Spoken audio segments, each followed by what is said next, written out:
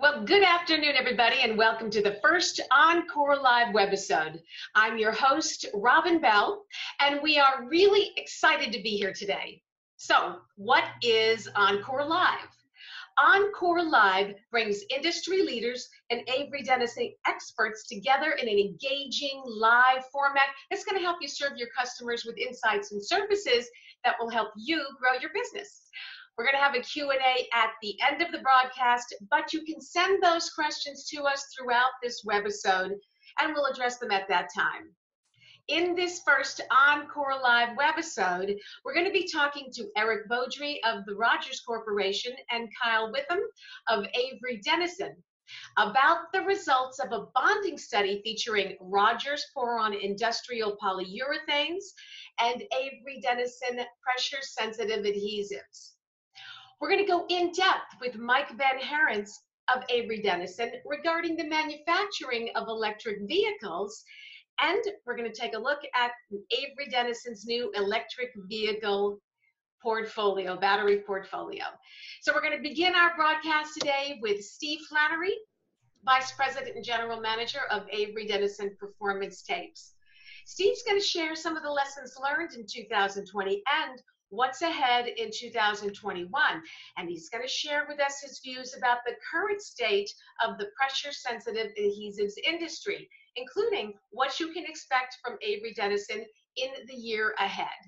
It's my pleasure to introduce Steve Flannery. Steve, it's good to have you with us today. Thanks, Robin. It's a pleasure to be here. And uh, I'm excited to speak to what I believe is over 100 folks, despite the fact that I can't see your faces. Um, really excited to to have this conversation. So yes, as am I. As am I. So let's get to it. Let's talk about some of the unique challenges of 2020. But before we do that, I understand you've got some exciting news for us. Yep, uh, we did announce uh, just a few weeks ago that we closed an acquisition of uh, JDC Solutions. Um, they're a, a relatively small tape manufacturer in Tennessee. They're a great company with a great reputation for quality and, and service. Um, they've been especially good at managing custom products and small MOQs, which is one of the reasons why um, why we're interested and why we made the acquisition. Um, we believe they'll be a great complement to our performance tapes business here at Avery Dennison and really allow us to bring more value to our customers. Um, and one question that I get, I've gotten asked a couple of times now is, what's going to change? Um, and broadly speaking, not much. Um, our goal is really to not create much disruption. So many of the things that you uh, like about uh, JDC today, we're not going to be changing those things. In fact, um, we'd like to accentuate those and bring more value to our customer customer base. Along with that, uh, they bring another location for us. So right now, um, Performance Tapes operates mainly out of Painesville, Ohio. This will bring another location down in Tennessee, which will allow us to expand um, uh, our flexibility and really to serve our customers as they grow and give us an opportunity to continue to expand um, as we grow in the marketplace. So all good, all good. So can you describe for us the advantages the JDC acquisition gives to Avery Dennison, aside from location and some of the other things you've mentioned here? Yeah, uh, actually, probably a specific example I think is worth I think is worth sharing. Um, so, like I said, one of the the benefits that JDC brought to the table for us is being able to manage um, some of these low MOQ uh, uh, types of opportunities or types of types of business, um, which really give us an opportunity to better serve the marketplace. Well, uh, last year we launched with Performance Tapes a portfolio called the Core Series. Um, the Core Series is essentially a collection of products that are across a diverse set of chemistries as well as construction types, where our goal is to offer industry leading MOQs, that is low MOQs, and industry leading service. Um, and we, uh, the, one of the main reasons behind this acquisition was actually to uh, help us advance this strategic initiative for us um, and, and really allow us to deliver on the promise that we're, that we're putting out there to all of you, all of our customers around this core series portfolio. Um, so the, really the intent of this is to us to offer best in class um, service that's dependable um, along with uh, low MOQs. And that the, the, really the strategic intent of this JDC acquisition was all about growth, um, not about cost cutting. So we see this as a real benefit to advancing um, our core series uh, product portfolio. So could you give us a specific example of the benefits that the acquisition offers to the customer? Sure. So um, as, as I mentioned, um, JDC was fairly strong in the converting channel. So the fact that we will be taking what is JDC's um, customer base along with ours will give us more scale um, and create more flexibility for us to again offer a broader set of products um, to our converting customers. So, um, and on top of that, allow us to continue to drive lower and lower MOQs, in particular for custom products. You may have experienced over the past few years MOQs that were just a little bit higher than you would have liked out of our Avery Dennison Performance Tapes facility. This will allow us to really lower our MOQ threshold, thresholds, in particular um, for custom products, which I think all of our customers will be happy to hear. Oh, absolutely. Uh, okay, let's talk about something else now. Let's talk about 2020. Unusual, unusual year by all accounts, right? Yeah. Can you tell us some of the lessons that were learned and how Avery Dennison addressed the demands on the business? Sure. Yeah, this was, uh, I think, for all of us, a very bumpy year. Um, as as I look back, though, um, sort of reflecting on this question, there are really three things that came to mind. One is bolder scenario planning. So many of you on the line today, I don't know how deeply you do scenario planning, looking at what is, you know, for example, 2021 going to look like. Um, that's something that we do on an annual basis. And um, candidly, we got the down right. So we knew we were going to see significant downturn as we uh, entered, in particular, the summer, and we saw that. Um, what we didn't expect and we missed was how fast it would rebound. Um, what we've seen and many of us are experiencing are volumes that are not just above um, above uh, previous years levels, but even above sort of pre-pandemic levels, and in some cases significantly above that. So I think one of the things that we've taken away as a learning is really to plan for uh, bolder scenarios, and in particular, what are the triggers for those scenarios? So what metrics or things would we want to look for that would cause us to then make a decision to go down one path versus another. So that's one learning that we took that we took this year. I urge everyone to think about is be bolder with your scenario planning. Um, the second, which we're still we're still taking some learnings on this one, is I know most of us, um, especially in the tape industry, are have products that are specified. So you don't have a lot of wiggle room to make changes. When we hit an environment like this, it's really quickly understanding the difference between what can you change in an emergency versus what's impossible. So this is one thing we did several months ago is really looking at, you know, yes, we have a whole bunch of products and components that um, are specced in and we really can't change. Um, but in an emergency, could we change them? And we separated that from components that are impossible to, change, that there is no like product out there, even if the spec was opened up or a customer gave us a deviation, and really understanding the differences and taking different behaviors, and in particular, the things that are impossible to change, we built up some inventory of those items. So that way we know, even if we got into a pinch with some of the emergency items, it may be painful for the supply chain, at least we could weather through the storm, even if it was painful. So I think that was learning number two is really to understand the difference between very, very difficult to change versus truly unique, impossible. There is no near near alternative. And then the third item, which um, I don't know if this will come as a surprise to most folks, most folks, but you know, anytime you run into an environment like this, you really realize just how important people and experience is. The mm-hmm. folks that have been in your business for 10, 15, 20 years, they've seen a lot. And when new things hit you or there's significant disruption, they are much more capable of being able to manage these new things because all the run the business type activity they've done for many many years versus your less experience you know let's say zero to five year folks it becomes real upheaval and you lose a lot of that historical knowledge that may save you when you run into a situation where you've got to make changes or, or run on the fly and you need to rely on your instincts those 15 20 year people have a lot of deep instincts embedded in how they do the business. So one thing that we've really learned is how invaluable those experienced people are and we're actually putting um, putting some more emphasis both on a retaining those folks and b thinking about how do we ensure that we have promotional processes and um, we're creating development opportunities for those folks that have been here for a while to keep them with us for another 5 10 20 20 years. How important that's been in particular in turbulent times like this that's i think probably what i would say some insights Well, this, all of these uh, points that you hit on are great lessons to have learned, very valuable lessons to uh, to take away from 2020. So let's take a look at uh, 2021. We're nearing the end of the first quarter of 2021. Can you share with us some of the insights and industry projections for 2021? Sure, and I, I I'll, I'll start off by saying I don't know these are um, super insightful. They're just what we're thinking about. So I, I imagine many people on the line are already know some of these. I'll just at least give you my perspective. Um, so one is, as you can imagine, com, uh, continued demand volatility. Um, you know, uh, many of our customers and customers' customers and even customers' customers' customers are still trying to figure out what is the right uh, inventory position. How much safety, safety stock should they have?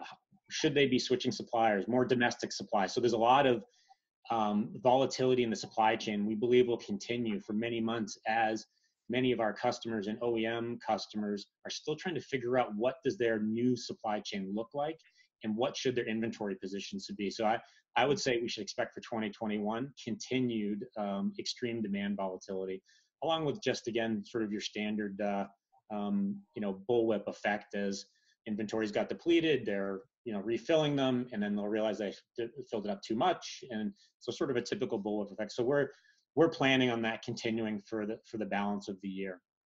Um, one of the things that actually concerns me a bit is just the health of the U.S. economy. So, again, I'm sure many of you who look at the news, there's pretty wild projections everywhere from four percent growth in the U.S. to eight plus percent growth in the U.S. and GDP, which could have a lot of implications depending on what what end of that spectrum we're in.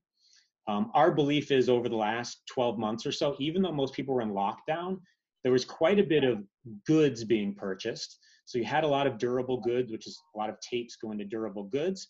I think what we're going to see moving forward here is services really surge, um, which is going to put just significant strain on the workforce. So again, as labor becomes tighter and tighter, I think there's a big concern for inflation. So I think many of you are already experiencing that today on just some of the raw materials, but I think that's going to permeate through the entire US economy if it heats up, you know, in that plus 6% GDP um, scenario that many economists are beginning to, to throw around here.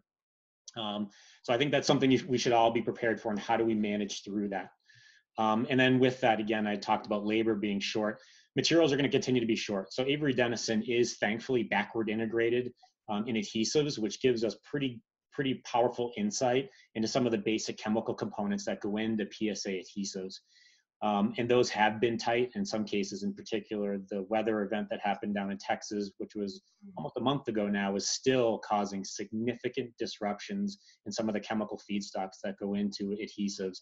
And we don't expect that to, um, to abate for, for probably several months now as the supply chain continues to recover um, and different components are recovering at, at different states.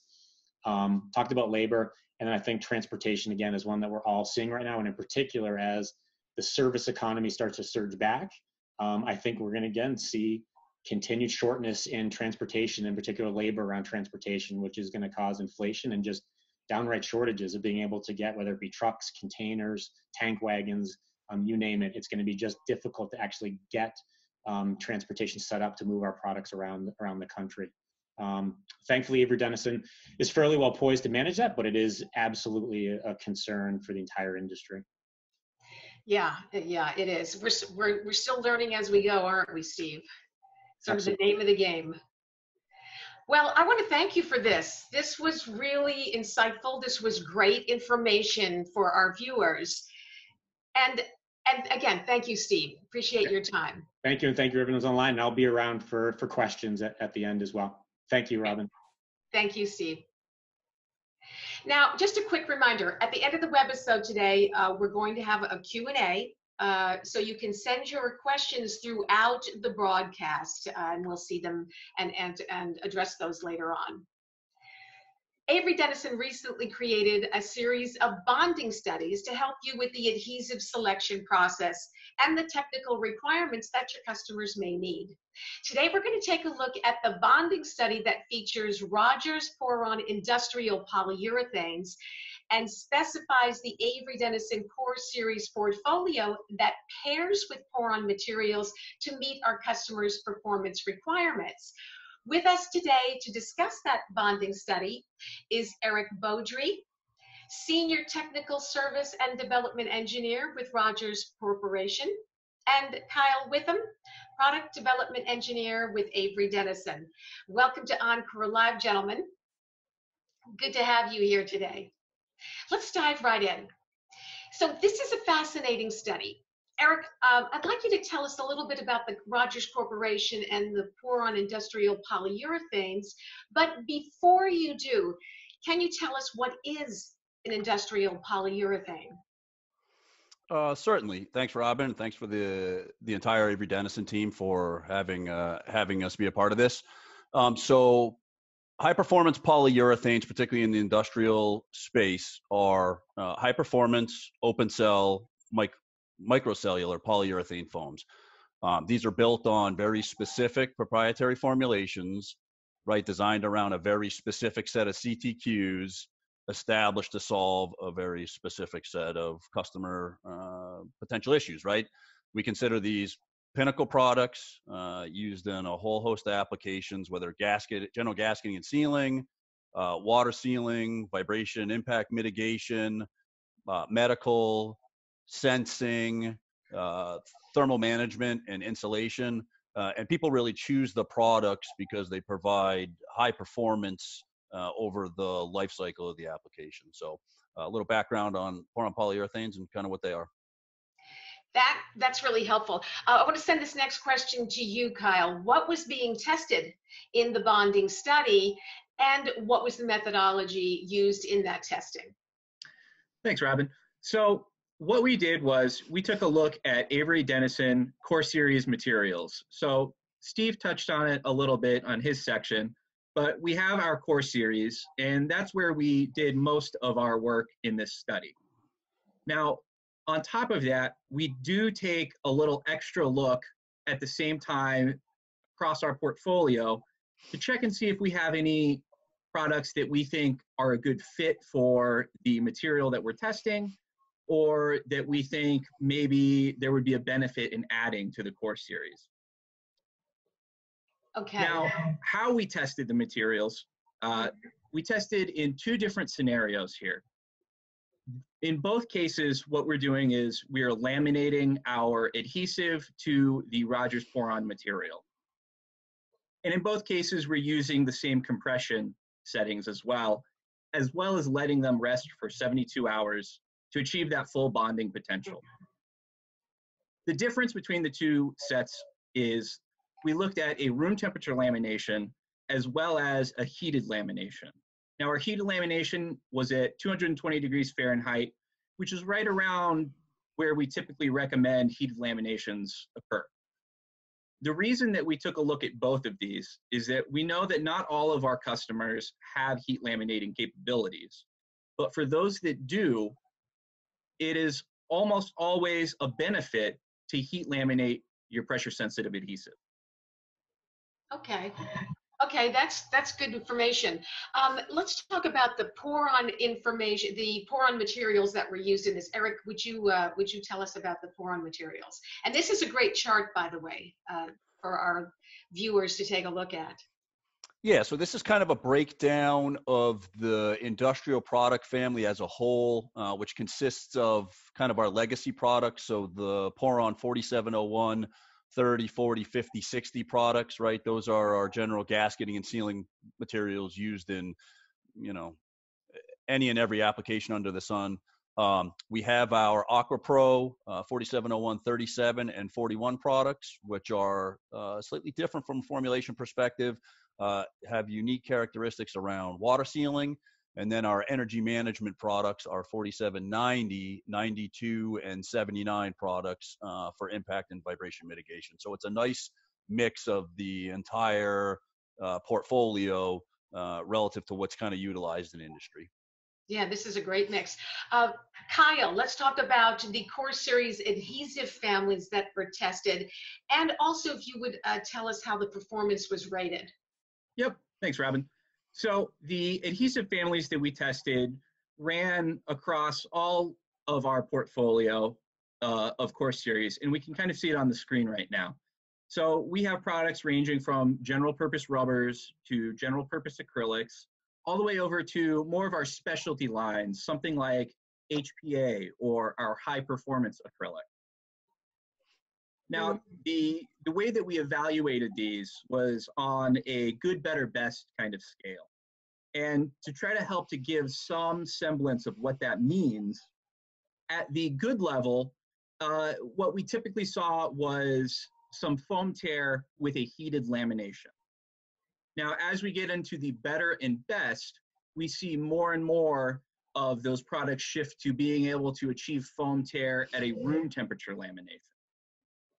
Mm, yeah, this I, this chart is great. I love this, and this information is great. We've got time for one more question. Would you both briefly tell us what the key takeaways were from this study for the customer? And Eric, why don't we start with you to answer this question? Yeah, so I would say um, for us, uh, the majority of the product consumed in market leverages some sort of bonding system, right? So whether tape or otherwise. Um, this unique study really lets us dive into the uniqueness of the material properties required to ensure we're utilizing the right tapes in industry uh, to provide customers good engineered solutions for their specific product problems, right? So the I think the study does a great job at detailing out the specifics. As Kyle mentioned, the good, better, best model is a great way to understand uh, how ultimately it'll affect uh, material inclusion in your application. So yeah, again, I want to refer to the to that chart. It it really is a good uh, model to use, good, better, and best.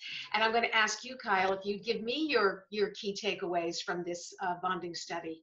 Yeah, so I think that one of the most important things that we've learned from this, and Eric touched on it, is it is a great learning experience for each of our companies as we come together and we learn more about, for us, foams that have been used in industry. And like Eric said, for him, tapes.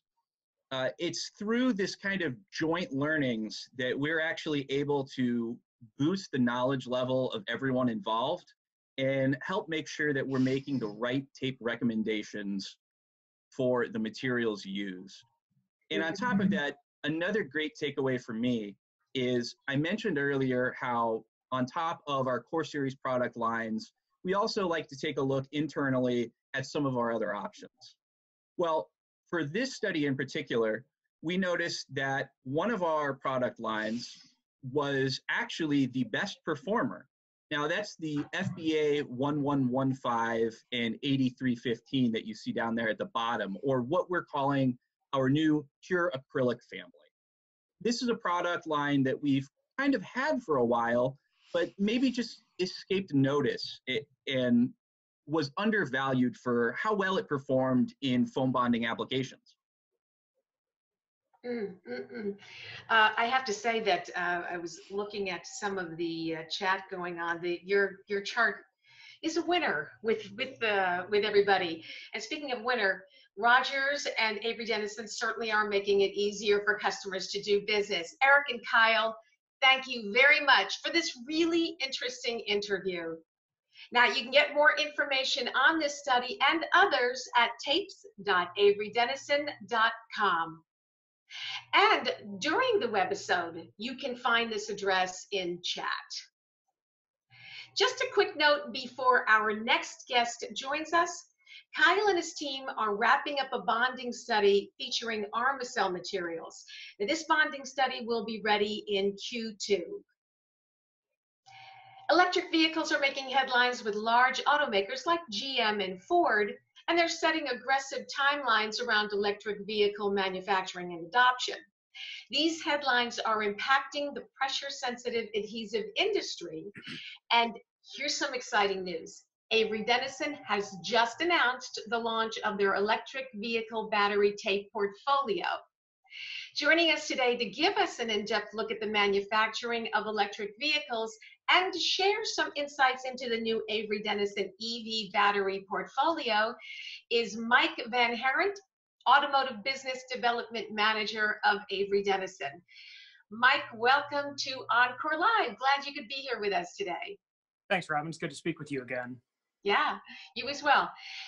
Electric vehicles.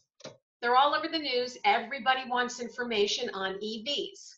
What information should customers be paying attention to so that they can prepare for these new innovations impacting their businesses?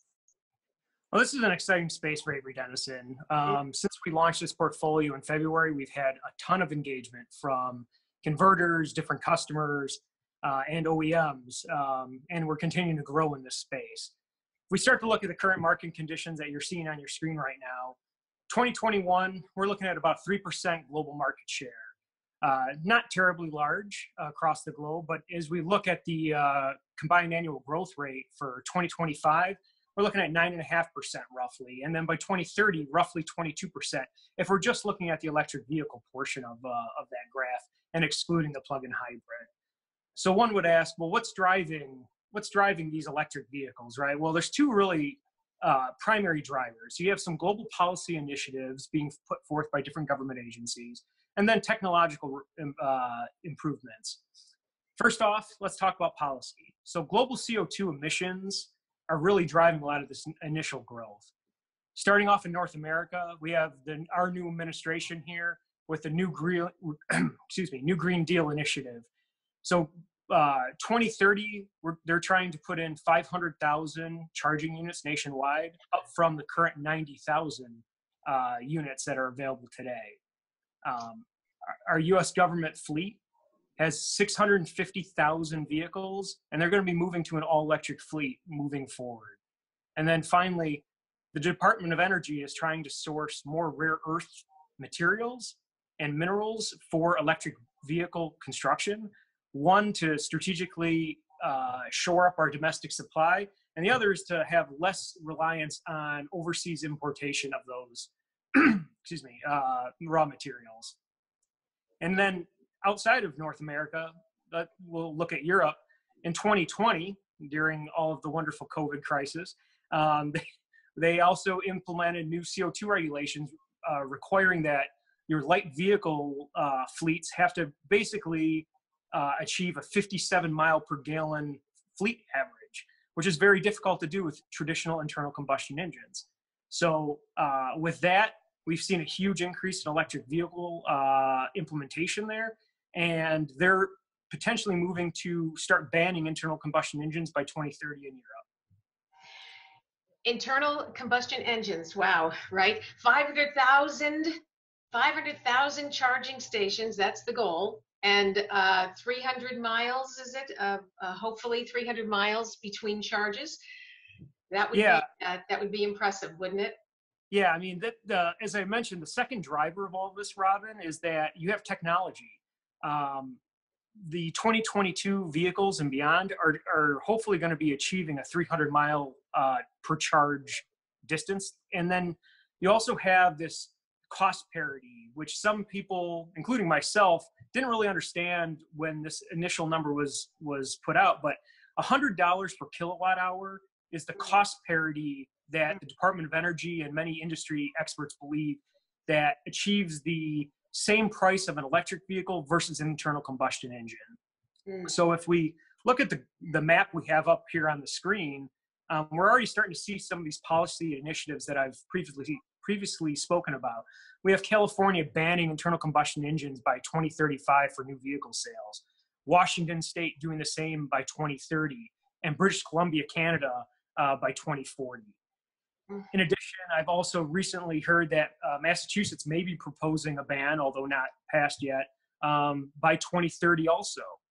And then what does that mean for uh, vehicle manufacturers? Well, General Motors has said that they're going to be all electric by 2035. Mm-hmm. And Volvo has said that they're going to be all electric globally by 2030. So we're seeing a lot of movement in this space. Yeah, there's definitely loads of interest in electric vehicles. Um, something I want to talk about, if we could, what are the most common challenges in uh, battery design and construction? So really, um, I mean, besides how Avery Dennison really, how we address these, the common challenges that the industry fights are a couple. Um, you have occupant protection and safety. Uh, things like thermal runaway events, fires. I mean, if, mm. if you've seen any YouTube fires of of specific electric vehicles catching fire, it's a pretty catastrophic event. So trying to keep those occupants safe and protected. Um, packaging constraints. Uh, everyone wants longer range vehicles so that their electric vehicle would be almost the same type of range as what their internal combustion uh, gasoline or diesel powered vehicles move today. And there's a lot of packaging constraints to try and achieve those type of capacities. And then you have heat management, um, both during using the vehicle and driving, and then quick charging. Uh, quick charging generates a tremendous amount of heat, especially as you start to go above 150 kilowatt hours of charging. Uh, so you could do a five or 10 minute charge on your battery. There's a ton of heat generated, and then trying to manage that heat. Mm-hmm. Yeah, that that's that certainly is a is a challenge. So, talking about electric vehicle batteries, why is this an opportunity for pressure sensitive tapes? Well, I mean, first off, pressure sensitive tapes are amazing materials, but I may have a biased opinion on that. Maybe, maybe a little. so this this this opportunity uh, or this portfolio offers a lot of opportunities to our customers in addition to our regular portfolio products, right?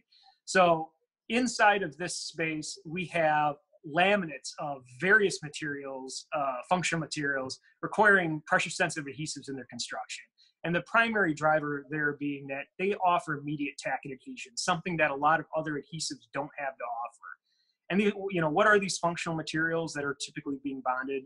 Well, we have cell compression pads that go between prismatic and pouch cells to allow expansion contraction during mm-hmm. charging and discharging. We have thermal runaway materials that, like I had mentioned before, are protecting us, the occupants of that vehicle, from catastrophic fire or thermal events. We have things such as thermal gap pads, not to be confused with what I just mentioned, that are helping pull the heat out of those battery cells and into uh, chiller plates or other cooling medium. And then we also have a lot of these materials are just very difficult to bond to. They're fibrous, ceramics, micas, or low, low surface energy materials like silicone foams, um, all of which are just very difficult to bond. So, with that, uh, PSAs offer uh, tapes for those protection and safety uh, while still bonding these functional materials, primarily in two areas the dielectric protection tapes that stop uh, electrical arcing, and then protecting these flame materials, like I had mentioned before. Mm-hmm. Um, so that that's that's how I would answer that question. good answer. Very good answer, Mike. All right, here's something I want to finish up with. The electric vehicle battery portfolio. Very exciting, right? Specifically, I want to know how does this portfolio address the challenges in this market and the opportunities for our viewers to enter into or to grow within this segment? So we have uh, it, the graphic that we have up here on the screen. Um, we have eight primary uh, applications that we list that are really our primary focal items. Um, within those, there's a couple underlying themes that that reign uh, that are very resident. Um, the dielectric performance, uh, trying to stop electrical conductivity between materials, uh, the thermal and flame management, and then just protection of these uh, materials. So those are kind of the overarching themes of a lot of the products that we sell into this space of these constructions, we have single coated and double coated and transfer tape materials, much like a lot of our other portfolio of adhesive products. We have different acrylic and silicone chemistries we're using in this space that optimize the bond bondability of the substrates with the performance of shear and tack and strength that are needed for the application. And then we're combining all of that with functional films. Some of those are flame retardant, some of those are dielectric, and there's a variety of other uh, products as well. And then the portfolio that we're that we're offering here today is ever evolving. Um, as new requirements from OEMs uh, continue to come forth, uh, we're going to continue innovating. This is our generation one of this portfolio, and we're going to, you know, a year or two from now, we may have additional products that we're offering in this space just because of the continued growth in the uh, in the electric vehicle industry and and the evolution of engineering occurring within it. Mm. You know, it's um, it's really an exciting time. Electric vehicles, this is a very exciting, you know, it's kind of like the Jetsons have arrived, right? well, this was fascinating and this was fun. I really appreciate your time. Thanks for joining us today, Mike. Thank you, Robin. And I just wanted to also mention that we're going to be giving a uh, EV battery webinar this summer uh, in 2021. um, for those of uh, you who would like to join, we'll be announcing those details in the future. Yes, and we're going to be sending out an email soon to let everybody know when that webinar will take place, and you'll get some information on signing up for that event. Again, thanks, Mike. Now, before we open this up to Q&As, I want to let you know our next OnCore Live webisode is going to take place on June 17th. You're going to be able to register through our OnCore e-newsletter, LinkedIn, or you can register through email. All right, let's open this up to some questions. And by the way, if we can't get to all the questions, you can go ahead and reach out to your account reps. All right, let's see, what have we got here? Okay, so here's a question. This one, it looks like this one is, oh, this one might be for you, Eric. What's the difference between the bonding studies and core series selection tool? Oh, I think that one is me, Robin, Oh, but that's I'll, right. I'll take it. Okay. So, Oh, yes, I see that. Okay. so the difference between the bonding study and our product selection tool, at a high level, uh, for those of you familiar with the product selection tool, you know that our core series kind of follows four simple steps. The bonding study can be thought of as a deeper dive into that first. We're really focused on the lamination material here and try to kind of give some insight here. Eric talked a little bit about how important his specialty foams are, right? Rogers creates very specialty materials. What we're finding out in the course of our bonding studies is that our more generic uh, categorization of materials sometimes fails to capture some of the nuance in that those specialty materials. So I think from that perspective, the bonding studies offer a deeper insight into a specific laminating material category. Okay. Uh, you know what? We've got a lot of questions coming in here. This one is for you, Mike. EV battery applications. Do you already have approvals from battery producers and actual suppliers? So right now, uh, Robin, where uh, the approvals that we're really working towards are UL94V type uh, requirements. Uh, our adhesives, both acrylic and silicone, uh, combined with specific face stocks, are meeting the UL94V-0 flame requirement. Um, as far as OEM requirements, they're uh, mostly asking for that level of flame resistance. The actual OEM specifications for the battery and battery integrators are typically uh, functional performance tests that our materials need to meet in conjunction with a variety of other materials. So there really isn't a specific OEM spec for these materials other than the UL uh, certification and classification, uh, is, which is a testing protocol. Okay, and there is another question about, I'm going to uh, stay with you for just a moment here. Is there a particular material specification for an electric battery application? I guess, um, in addition uh, to, I don't know if I'm going to answer this question correctly, but in addition to the UL specification that I mentioned, uh, we do have a, a, a whole chart of our internal specifications or internal uh, part numbers that we have for this space. I don't know what the what the audience member is specifically asking for in that. If they want to provide any additional clarification, I'd be happy to answer it. But we have about uh, 15 different products that go into this portfolio right now from a specification perspective. Uh, 10, roughly 10 of which are UL 94V-0 uh, certified, uh, you know, tested in accordance with that certification. All right, so we've just gotten a question for you, Steve. Uh, how can we, as converters, work with Avery Dennison to help offset the current supply issues? Good question. Yes, I figured I'd get a hardball question. Um, And So- you like those hardball questions. yeah. I, I- mean, I, I mentioned it. The entire industry right now is is in a tough spot from a supply standpoint uh, across many components, in particular right now, some of the chemical components. Um, I would say, if there's an ask or you know what could you do, one is you know continued patience. Um, you know, in many cases, at least from from our standpoint, you know, we are in some cases there'll be a delivery we might be expecting of a specific component, you know, tomorrow that we'd want to use in the manufacturing of products a few days later, and it's a confirmed delivery and it just doesn't show up, um, and we're having to sort of change over our whole schedule. Which those of you who know, coating laminate materials is very difficult um, to just disrupt a coating schedule and coating wheel.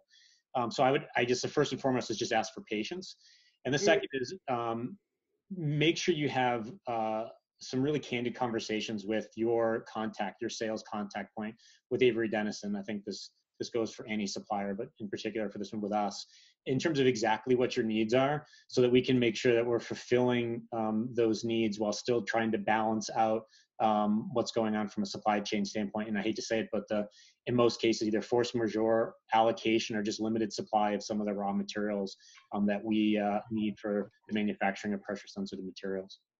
Yeah, yeah. Um, this goes out to another question about EV battery applications. What are the typical thicknesses of the tapes that are utilized in the uh, electric vehicle battery applications?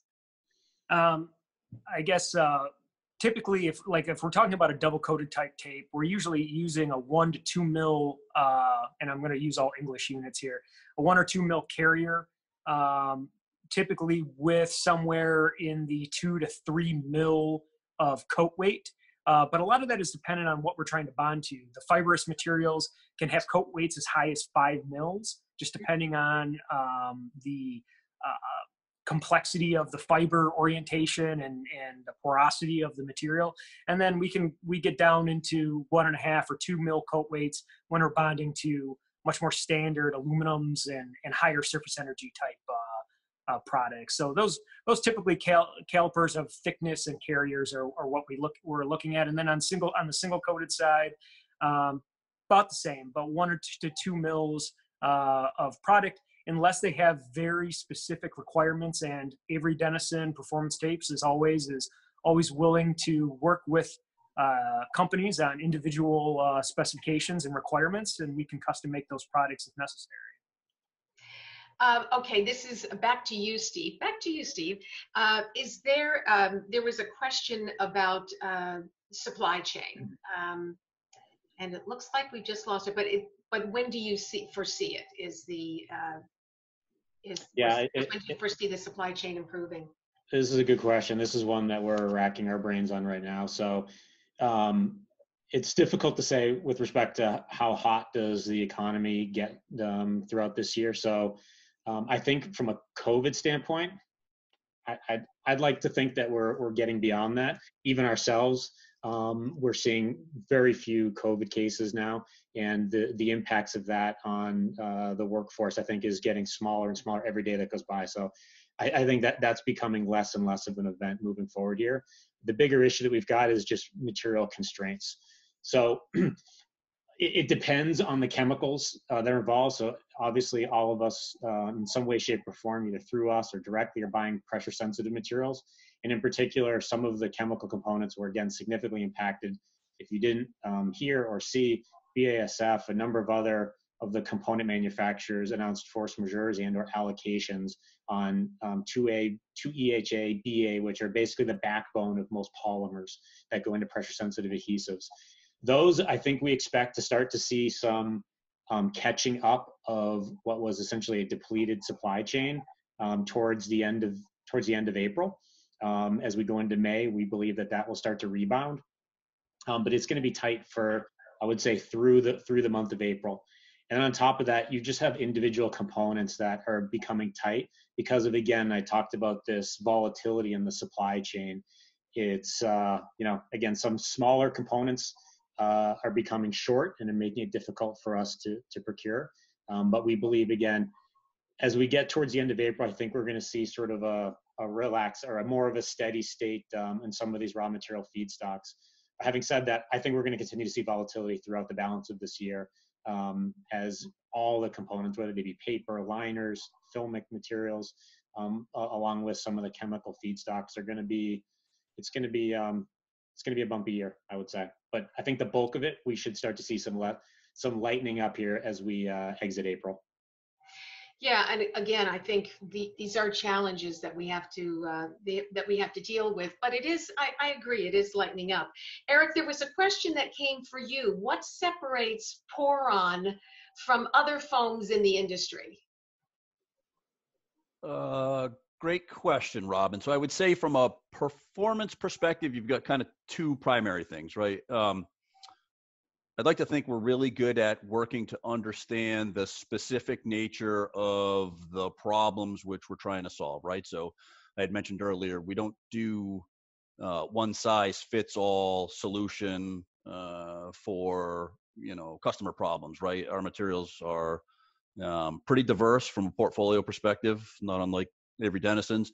Um, so we really have a plethora of products designed around providing um, you know specific solutions to specific problems. So i would say that's probably the first primary one.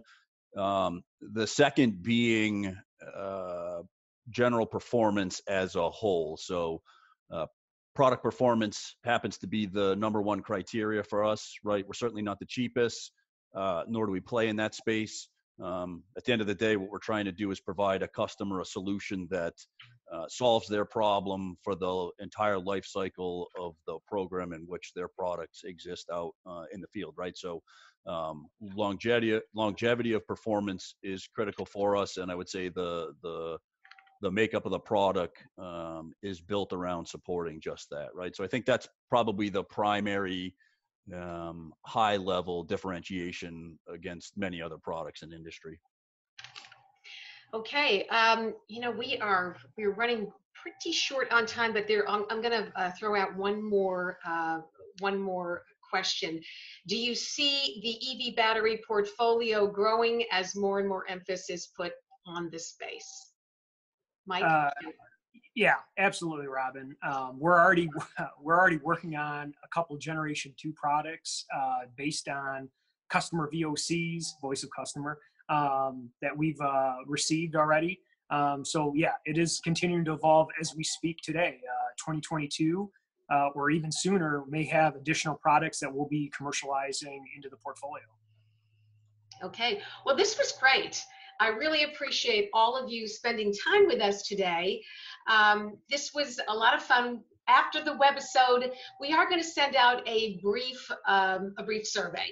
Take a moment, provide your feedback regarding today's webisode. We really would appreciate that. Until next time, I'm Robin Bell, and this was Avery Dennison's Performance Tapes OnCore Live.